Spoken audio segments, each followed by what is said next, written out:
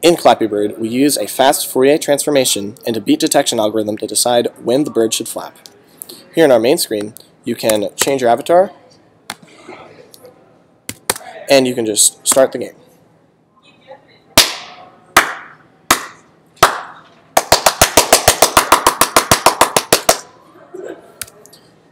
Here in this file, you can see a visualization of what the microphone is hearing you can see that we have a Fourier transformation and you use the amplitude here to decide when there is a beat.